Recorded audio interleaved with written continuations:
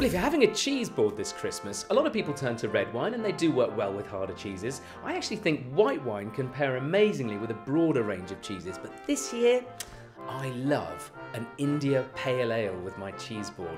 With the craft brewing revolution sweeping across Britain, there's never been a better time to dive in and taste the modern brewing that's taking our islands by storm.